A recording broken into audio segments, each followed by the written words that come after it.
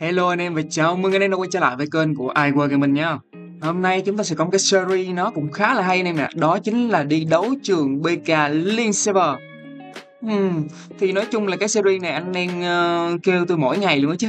Nhưng mà hồi nãy tôi có đánh một trận rồi. Thì tôi đánh một trận xong rồi thì tôi mới phát hiện là tôi quên tắt tiếng nhạc. À, Nên là thôi bây giờ chúng ta sẽ cùng nhau đi vào xem lại nha Chơi thôi anh em ạ. À. Đây, đây là trận đầu tiên. Thì khởi đầu với cái kỹ năng tắt xét đầu tiên của Trân anh em. Đấy, đem lại cho về cho chúng ta một cái lợi thế rất lớn. Thì cái đợt này chúng ta sẽ cùng nhau đi đánh đấu trường liên server nhưng mà là từ ờ, đánh hết luôn rồi anh em. Mỗi ngày đánh ba lượt anh em ạ. Đó cho nên là mình sẽ đánh từ khoảng nào đó top ờ, 20 đổ lên nhé xem là những cái trận đấu sẽ diễn ra như thế nào. Tại vì cũng có rất là nhiều trận đấu mình bị thua anh em ạ. Nên là mình phải đánh với mỗi một cái team khác nhau chúng ta phải chỉnh một lại một cái team của mình khác nhau anh em ạ chứ không thể nào mà giữ nguyên một team được đâu nhá rồi, thì sau cái đau đầu tiên thôi, cái hiệp đầu tiên thôi là bên mình đang có lợi thế rất lớn về số lượng chiến binh còn sống sót. Và kèm theo đó là trói của sông long nữa. Sông long đang bị trói lại cho nên là anh ấy không thể nào mà phản kháng lại được anh em ạ chúng ta đang có kỹ năng tác sát của tua. Trói rô của bên team chúng ta rồi.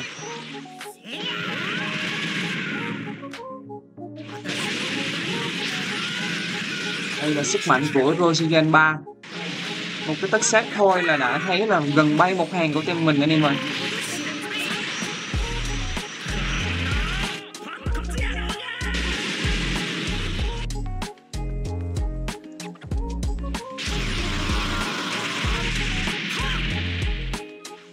Kỹ năng tất sát thứ hai của Trân anh em ạ. Và đó là hai cái bạn đã phải nằm xuống luôn rồi. Rất nhiều sát thương đến từ vị trí của Trân. Samokovac cũng đang có một cái lợi thế rất lớn. Giết đôi Đó thêm một cái tất sát nữa.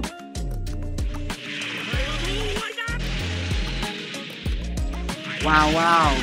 Trinh vừa rồi đang có pha quay trở lại và rút rất nhiều máu từ tên một của đội hình chúng ta. Vego, Vego cũng đang bị rút máu rất nhiều nhưng mà nó đã dùng nội tại hồi lại máu của mình rồi.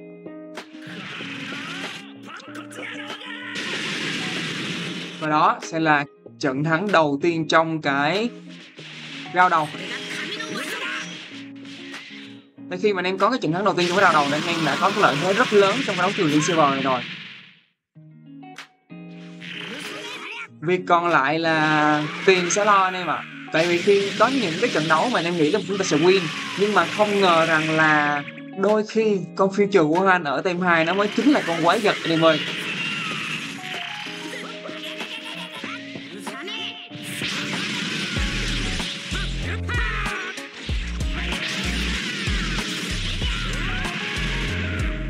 Khá là nhiều cái phản kích vừa xảy ra. Và thực sự là tôi rất là thích xem những cái phản kích lại này mà nhiều khi chúng ta phản kích lại nhưng có thể làm choáng này, cho nên là tên họ bị choáng trong cái ra đầu luôn, rất là hay.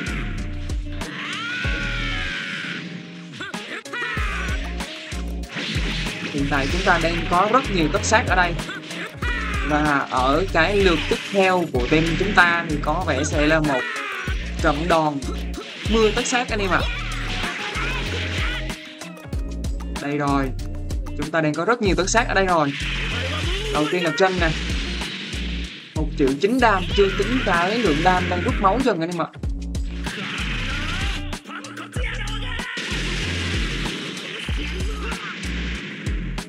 Đây là phản kích của phiên trường Wuhan vẫn chưa lấy được cái mạng của Vego, rất trâu. Simokovic đang làm rất tốt cái công việc của nay đó chính là cấu máu các bạn. Và hiện tại nay vẫn chưa mất cho mình cái hồi sinh lại. Cái đó cũng không tính là hồi sinh đây mà tôi nghĩ cái đó sẽ tính theo là ẩn thân, sau đó quay trở lại thôi. Nên nếu hồi sinh là phải nằm xuống, ông này cứ bay đi thôi nữa.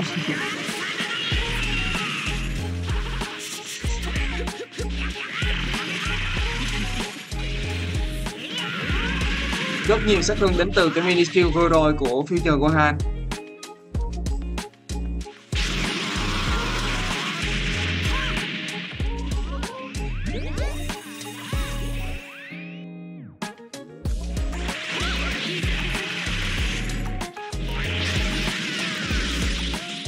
Đấy Miniskill mini skill không? Không có mini skill đến từ future Gohan rồi anh ạ và đó là ẩn thân của sông cô phép, anh ấy đã chạy đi rồi.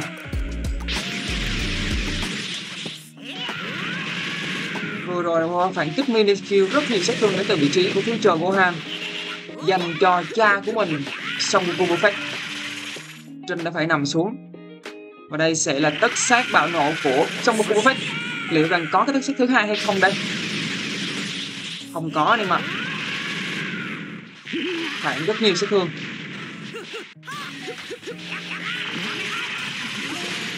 tôi đang mong chờ vào cái cú gặp mini skill của Rosicen 3 lấy đi cái mạng của Vados rồi anh em ạ.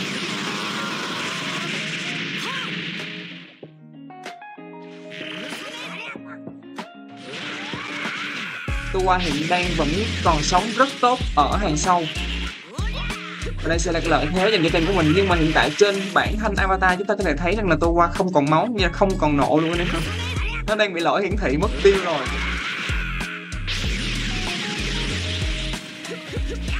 Chúng ta đang không còn cái set nào nữa hết.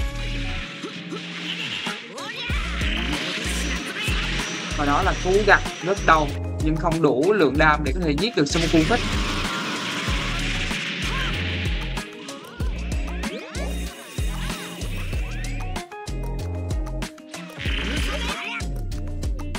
trên xem cái lần phản sát thương bằng mini skill này của video của Han có tạo nên sự đột biến nào hay không?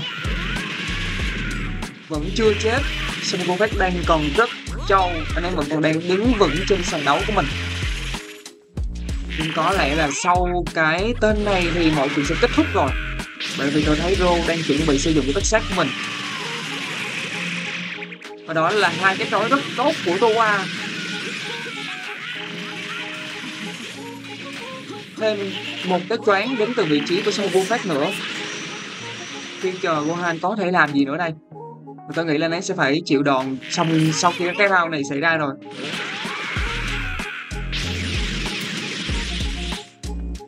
Đây là trận đấu mà team một của mình thôi đã có thể win được cả hai hiệp đấu.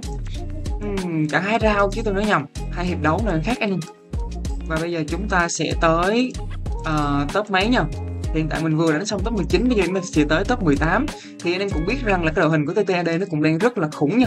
Nhưng mà tôi đang thấy ở đây là chúng ta đang có Z-Rain chúng ta đang có Gogeta Blue có Skin anh em ạ. Và kể cả Yamasu nữa. Ok như vậy thì uh, đội hình một ở đây có vẻ là sẽ không có nổ đầu nhiều cho nên là tôi nghĩ sẽ đem luôn cái con của 4 qua đi anh em nhé ok không? Đem cô 4 qua nhá. Uhm, mình sẽ cho con uh, future của hai bên đây hiện tại cũng đang có cho nên là mình cần một cái đội hình dồn đam một tí. Chơi như thế này là mình nghĩ khá là ổn áp rồi. Chiến đấu thôi. À, hồi nãy cái trận đấu đầu tiên mình quên cho anh em xem cái lượng đam rồi Cho nên là sau cái trận đấu này thì mình cho anh em xem những cái lượng đam của những cái con tướng nha.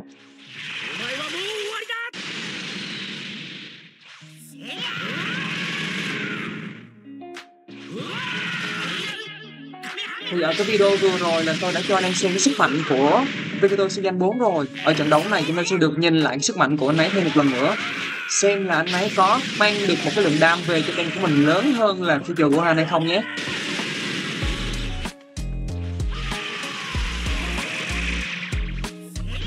Không có chói nào ở đây cả và phản sát thương lại rất đau cái tình skill của future của Han và có lẽ anh ấy đã bị mất một cái miễn tử rồi. Tôi không biết là mất chưa, bởi vì anh ấy có lần hồi máu lại mà tôi nghĩ là anh ấy chưa mất được đâu anh em ạ. Khá là trâu nhá. Toyota đã phải nằm xuống.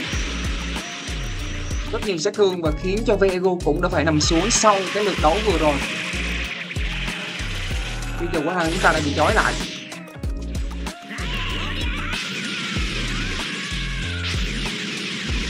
Sát thương là khá to và Samukovic đã phải mất đi cái ẩn thân của mình.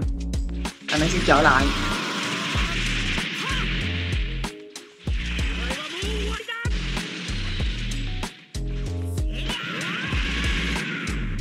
Samukovic sẽ trở lại và khiến cho thằng con của mình phải trả giá.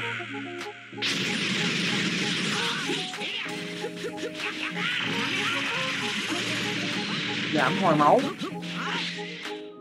vẫn chưa giết được Samuku. Future của Han em, vẫn chưa giết được future của Han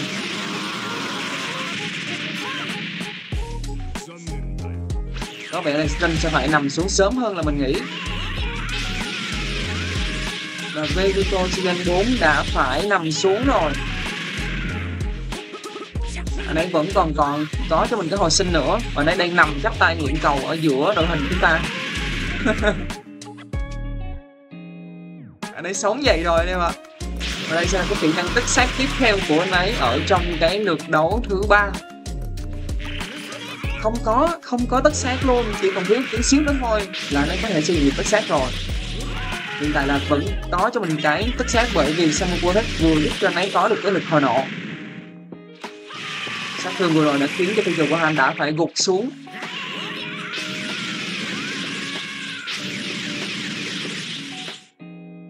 Tuva vẫn còn đang chống cự lại tên của chúng ta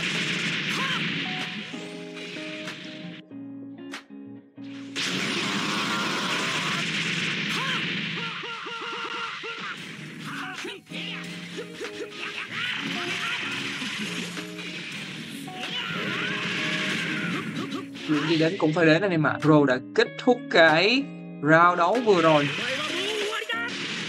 Bây giờ sẽ bắt đầu tới cái round đấu thứ hai của tên địch hiện tại thì có vẻ tôi thấy có rất nhiều sát thương và đây sẽ là lượng sát thương của Yamatsu khiến cho team mình đã phải mất đi rất nhiều máu. Và anh em có thể thấy trên thanh avatar rằng là hầu như là bị trắng máu luôn rồi anh em. Rất nhiều sát thương. Toa cũng đã phải nằm xuống. Và đây sẽ là cái tích sát thứ hai của sông Long. Và chúng ta chỉ có thể là sử dụng một cái mini kill lần này thôi.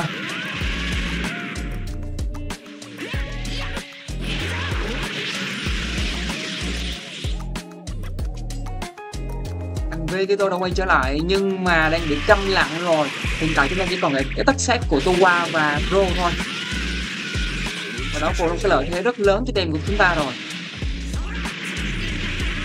Mình đang thấy trên video là có cả Zigen và Wiz ở đây. Nhưng mà tôi không biết rằng là hiện tại, với cái meta hiện tại thì những cái rưỡi tướng cơ bản ban đầu có thể chịu nổi cái khả năng đó hay không nữa.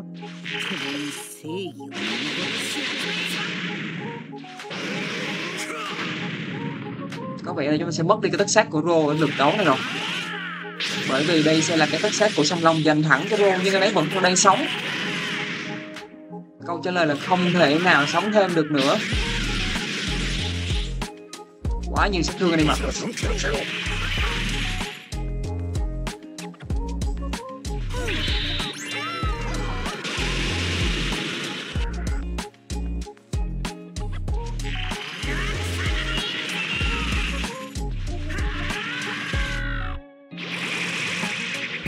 đây là một pha phản đòn bằng tất sát rất nhiều của team chúng ta. Hiện tại thì uh, Gogeta Season 4 vẫn đang chờ đến lượt tất sát và song long vẫn còn đang đứng đó. Trận đấu này tôi nghĩ là có lẽ sẽ kết thúc sớm hơn là chúng ta nghĩ. À hôm qua tôi đánh boss cái hạt này nên tôi quên đổi lại băng chương rồi anh em. Hiện tại cái song long vẫn còn đang cầm xe qua đi mà. không sao chúng ta sẽ đánh chúng ta sẽ đổi nhẹ sau cái uh, sau cái trận đấu này. Xong ông nó phải ngã xuống rồi. Nên bạn ngắm nhà quả thân rồi.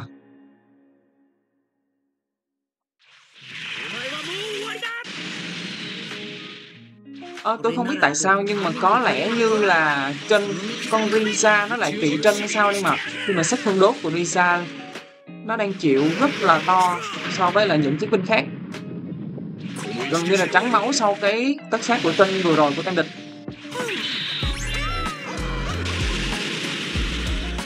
Nhưng mà bù lại thì cái khả năng hồi máu của anh ấy cũng đang khá là lớn.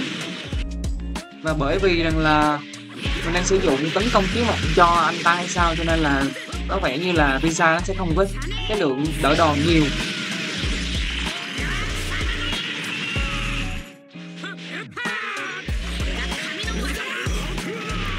Sau cái tên này tôi nghĩ là trận đấu sẽ kết thúc thôi, bởi vì song long đang có cho mình cái tất sát. Go 4 cũng đang full nộ rồi.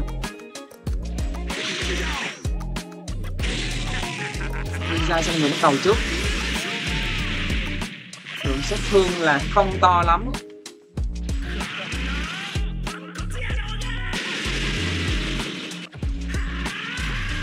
Nhưng Broly thì có anh em Broly có lượng sát thương cũng khá là dồi dào em ạ và kèm theo đó là một cái về búp giảm trị liệu. Rồi Jiren tầm này thì cũng không thể nào chịu nổi hết được rồi. Pha nổ thứ hai, đây là gọi là nổ ké anh em ạ. Trận đấu cái này sẽ phải kết thúc. Rồi, chúng ta sẽ cùng nhau bỏ qua bởi vì đây chúng ta đánh những cái chi viện thôi. Ok, đây là cái lượng đam trong trận trong cái cái cái trận đấu này. Thì hiện tại chúng ta đang có Samuku phép với 29.5 triệu đam song long với 27.6 triệu đam anh em ạ. Ok. Rồi thì chắc là mình sẽ đi đổi lại cái phần văn chương. Tại vì hôm qua mình đánh boss xong rồi cái mình cũng ờ, quên đổi lại. Đây hôm qua mình quét con Vegito xong cũng quên đổi lại cho anh em nữa nè. À, đây nhá. Đây là con Vegot nhá. Ở đây là con Samuku Edit God. Tôi cứ quên hai con này hoài anh em ạ. Khó chịu vô cùng thiệt ạ à không này mình sẽ đổi bằng chi viện à, văn chương Beirut vì không này đáng lẽ là của này chúng ta sẽ có rồng một sao này đấy và ở đây chúng ta sẽ có cái văn chương recom cho Vegito nhân 4 nữa. Rồi song long thì hiện tại là chúng ta sẽ có cái gì còn thừa ra nhỉ? Nó phải thừa ra chi viện sale tôi nhớ không lầm là vậy hiện tại chi viện sale đang nằm ở song long, mình đã tháo ra rồi. Ok. Rồi, chi viện sale đâu rồi?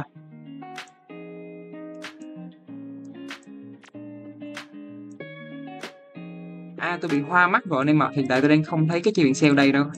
Ok, như vậy là chúng ta đã đủ rồi. Những bộ văn chung chúng ta đã quay trở lại rồi ha. Đi chiến tiếp theo cái trận đấu cuối cùng của ngày hôm nay thì hồi nãy chúng ta đã đánh top 18 rồi, đúng không? Bây giờ chúng ta đánh tới top 19 ố lộn top 17 rồi, ở cái lượt đấu này thì tôi nghĩ là trận đấu nó sẽ dễ hơn một tí xíu rồi, bởi vì tôi đang đổi lại cho những cái bộ văn chương nó đúng người rồi, anh em ơi.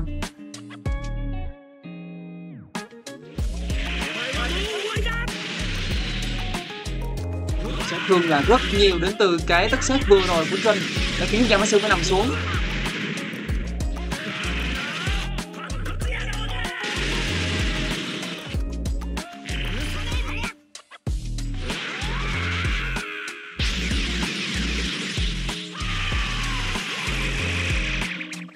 Nói vừa rồi đã khiến cho Vogeta Season 4 đã phải chịu trận rồi.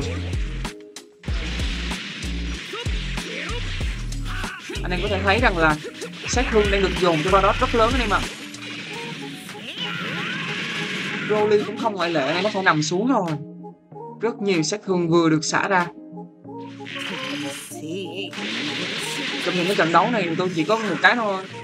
Bắn tùm lum, bắn tùm lum luôn anh em ạ. mới sư cũng đã phải nằm xuống ở cái mạng thứ hai rồi. Thương là rất lớn, hồi lại máu. Nhưng câu trả lời là không thể nào bởi vì tên của mình đang dùng đam rất to. Vì tôi xin 4 lượng sát thương sẽ là 2 triệu đam.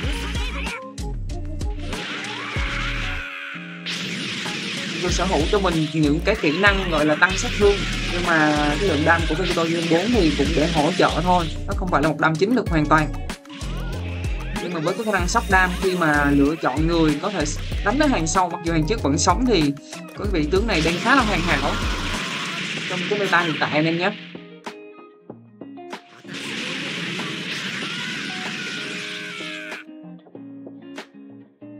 Chúng ta bị mất tất sát bởi vì chi viện của tem địch đang ra nhưng mà, ở cái lượt tiếp theo thì chúng ta đang không có tất sát nào hết, nên cũng khá là may mắn.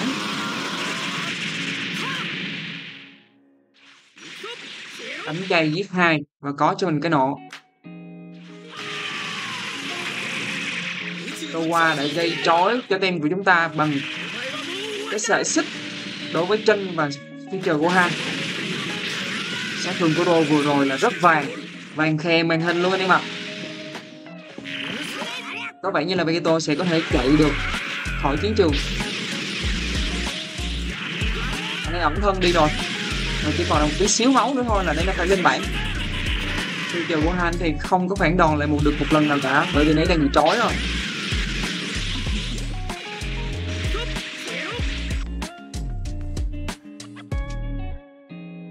Chúng ta đang còn lại Vegeto Gen 4 trưởng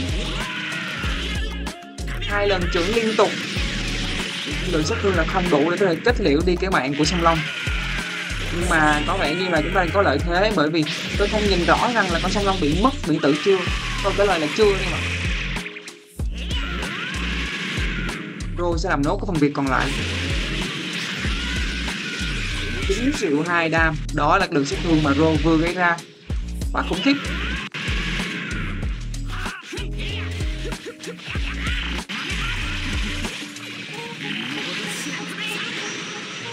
Ờ, như vậy chúng ta đang có cái lợi thế về người này. Rồi về thế về debuff khi mà bên team họ đang dính cả trói buộc đến từ Towa đối với lại Trinh cũng như là song long bên tên kia.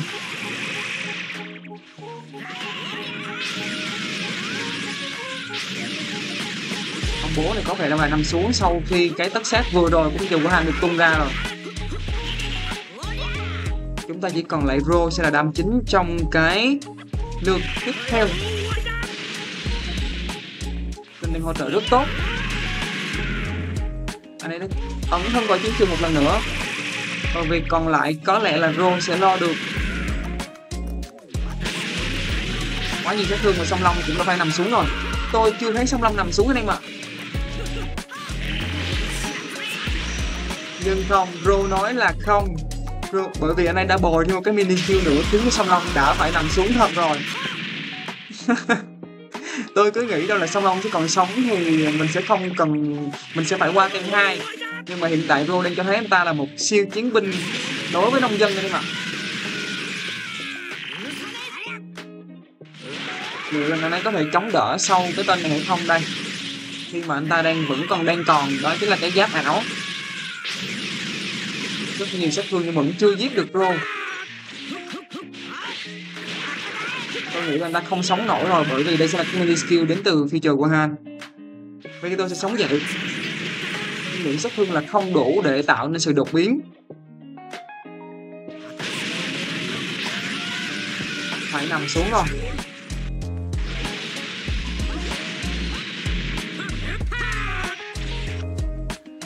Ok, đây sẽ là team thứ hai của chúng ta. Khởi đầu bằng Paradox Season 4 nhỉ?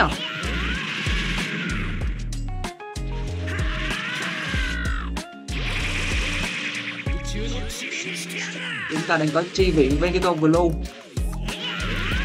Rất đau rất đau. Có vẻ là phong trào của hai bên kia hiện tại đang tích cho mình full lượt rồi. Những cái nội tại nhưng mà cái mini kill vừa rồi không gây sát thương cho cho Black Visa nên mà khá là ảo nha. Rồi, bây giờ là trận đấu 6 đánh 1 không chọn thì cũng què thôi. Cái vùng vẫy thế nào thì tôi nghĩ chắc là cũng không nổi rồi. Và cái mini kill vừa rồi đã kết thúc luôn cái sinh mạng của Peter Gohan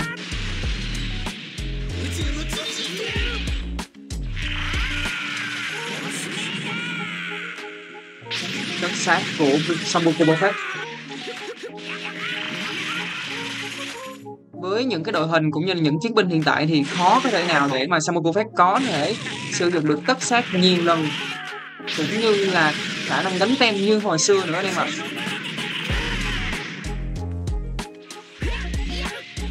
Đội bóng kết thúc trận đấu ở đây và đây sẽ là sát thương của trận đấu ngày hôm nay. Chúng ta thấy rằng là Rô đang có cái lượng sát thương khá là cao với 45.2 triệu đam. Và Ro bên kia cũng có sát lượng sát thương cũng uh, cũng khá là cao này mà 32.5 triệu đam kèm đó là Trinh anh em thấy cái lượng uh, đam của Trinh rất là lớn không? Ok, rồi như vậy thì chúng ta đang hết mất 3 lượt đánh đấu trường Liên Sư ngày hôm nay rồi. Và mình sẽ tiếp tục với cái series này trong những ngày tiếp theo. Thì hy vọng em sẽ đón nhận những cái series này nhé ờ, chúc anh em có một ngày thật vui vẻ và cảm ơn anh em đã dành thời gian để theo dõi cái video của ngày hôm nay. Bye bye và hẹn gặp lại anh em nhé.